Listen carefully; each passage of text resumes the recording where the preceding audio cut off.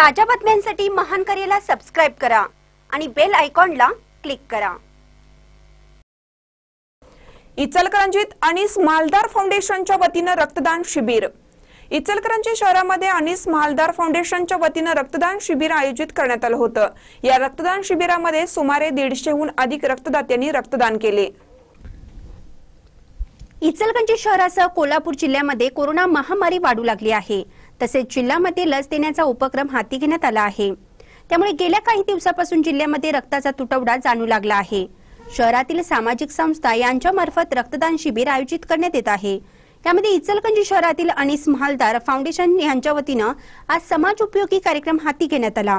यामध्ये शहरातील नदीवेस परिसरात असणाऱ्या आर्य चाणक्य अंत्यसंस्कार या संस्थेला सुमारे पाच हजार शेणी दान करण्यात आल्या याचवेळी शहरभर वृक्षारोपण करण्यात आलं.